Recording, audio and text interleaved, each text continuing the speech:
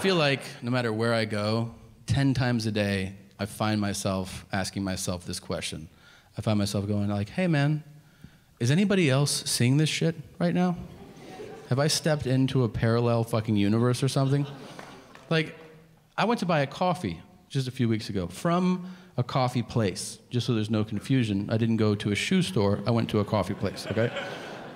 I go up to the lady behind the counter and I go, Can I have a coffee? And she goes, Well, we have a special promotion. And uh, today, for $2, you can get this drink, and it has uh, vanilla, and there's whipped cream, and there's sprinkles on it. And I was like, That's cool. I don't want that. May I have a coffee?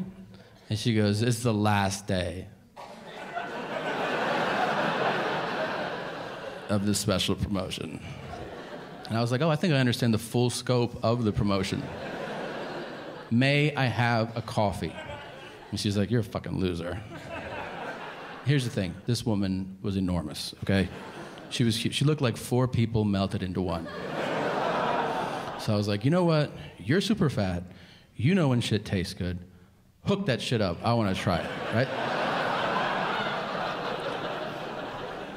And she goes, It's $2.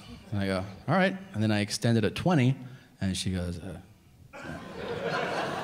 and I go, I'm sorry? And she goes, uh, I don't have the change for that. And I was like, Oh, so what do you want to do now? Are you saying I have too much money to shop here?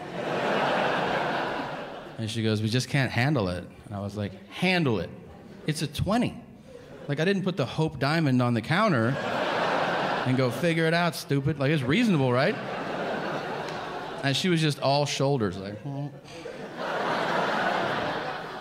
I go, Nothing? You have no solution? She goes, Do you still want coffee? I'm like, Yeah, that part's never changed. That's why I'm here.